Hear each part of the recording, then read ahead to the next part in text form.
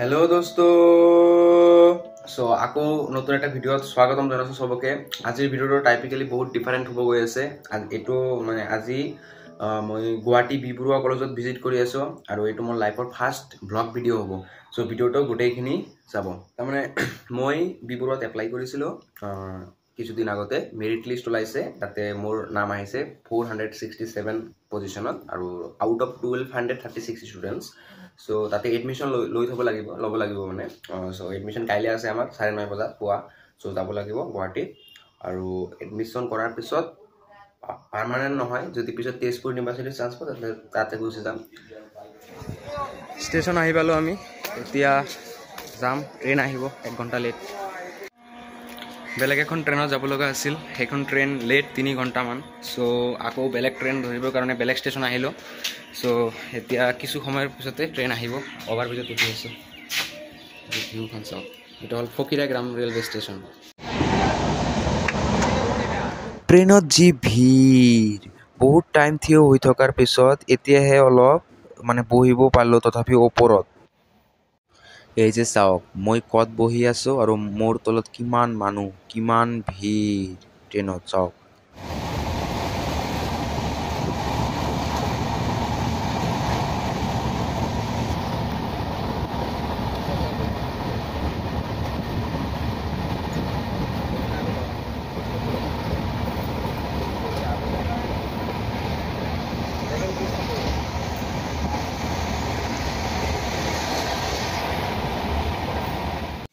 Finally আমি আহি পালোঁ। The biggest city of north east Guwahati.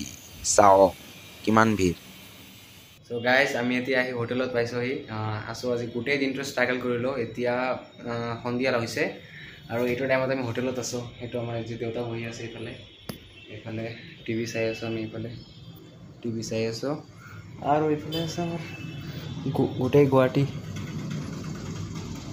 সন্মুখত এটা বিল্ডিং আছে বহুত ডাঙৰ বিল্ডিং এইফালে আছে আৰু আমি আহি প্ৰথমত হোটেল বুক কৰিলোঁ। এক ঘণ্টামান লাগিল হোটেল বুক কৰোঁতে। মানে ভাল হোটেল বিচাৰি ওলাই ওলোৱাতে বহুত টাইম লাগিল। পিছত বি বৰুৱাখন চাই আহিলোঁ অলপ। দূৰৰ পৰা এজন দাদা আহিছিল। তাৰপিছত এতিয়া ৰেষ্ট লৈ আছোঁ। গা পা ধুই ৰেষ্ট লৈ আছোঁ। কালি পুৱা যাম কলেজত। চ' কালি লগ পাম। ত' ফাইনেলি আমি আহি গ'লোঁ বি বৰুৱা কলেজৰ ভিতৰত। ইয়াত লাহে লাহে ষ্টুডেণ্টছবোৰ আহি আছে। চবে আহিব তাৰপিছত প্ৰগ্ৰামটো ষ্টাৰ্ট হ'ব। ইয়াতে এন চি চি ট্ৰেইনিং চলি আছে। আমাৰ এইফালেও হয় মোৰ বন্ধু এজন এন চি চিত আছে। ইয়াতে এন চি চি চাই ভাল লাগিল।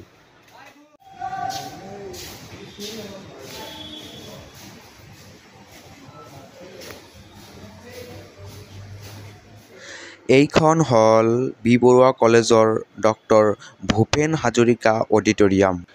আৰু ইয়াতে আমাৰ এডমিশ্যন হ'ব। বহুত ভয় লাগি আছে। মানুহ লাহে লাহে আহি আছে। ছিটবোৰ ভৰি আছে। পিছফালে চাওক কিমান ভিৰ। কমচে কম চাৰি ঘণ্টামান বহি থকাৰ পিছত এতিয়াহে মোৰ এডমিশ্যন প্ৰচেছখিনি কমপ্লিট হ'ল। প্ৰথমতে মই ভয় খাই গৈছিলোঁ। কাৰণ আমাৰ ছেকশ্যন এ আৰু ছেকশ্যন বি বুলি দুটা গ্ৰুপ বনাইছে। তাতে ছেকশ্যন এৰ জেনেৰেল কাষ্টৰ কাৰণে কাট অফ গৈছিল four hundred and twenty one marks আৰু মোৰ মাৰ্কছ হ'ল ফ'ৰ হাণ্ড্ৰেড এণ্ড নাইনটিন ঠিক আছে মই কোনো ই ডাব্লিউ এছতো এপ্লাই কৰা নাছিলোঁ। সেইকাৰণে মোৰ বহুত বেয়া লাগিল যে দুই মাৰ্কৰ কাৰণে চিলেকশ্যন নহ'ল। তাৰপিছত মই মানে উদাস হৈ ওলাই আহিলোঁ। পিছত এজন ছিনিয়ৰ দাদাৰ পৰা গম পালোঁ মানে বুজিব পাৰিলোঁ যে ছেকশ্যন বি নামৰ আৰু এটা ছেকশ্যন আছে তাতে বিন্দাছ চিলেকশ্যন হৈ যাব। অলপ টাইম ৰখি দিবলৈ ক'লে। চ' ৰখি দিলোঁ আৰু লাষ্টত চিলেকশ্যন হৈ গ'ল ভাল লাগিল বহুত। ভাত চাত খাই এতিয়া আমি আহি গ'লোঁ railway station Guwahati railway station চাওক কিমান ধুনীয়া ষ্টেচন অহাৰ টাইমত মই সেই ষ্টেচনৰ ভিডিঅ'খন বনাব পৰা নাছিলোঁ। ফেনখন চাওকচোন কিমান ডাঙৰ ফেন ইয়াতো এখন আছে চাওক কিমান ডাঙৰ। আৰু ৱালবোৰত আমাৰ অসমৰ যিখিনি কালচাৰ সেইখিনি ভালকৈ ফুটাই তুলিবলৈ চেষ্টা কৰা হৈছে মানে। চাওক কিমান মানে মূৰ্তি আছে কিবা কিবি আছে চাওক কিমান ধুনীয়া।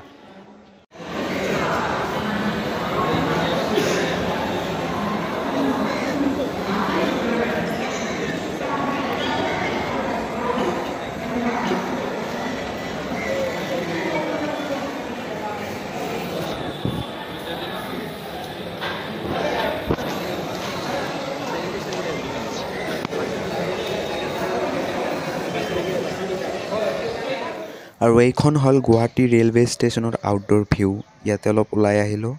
মুকলি বতাহ ইয়াতে। ভাল লাগি আছে। Fresh air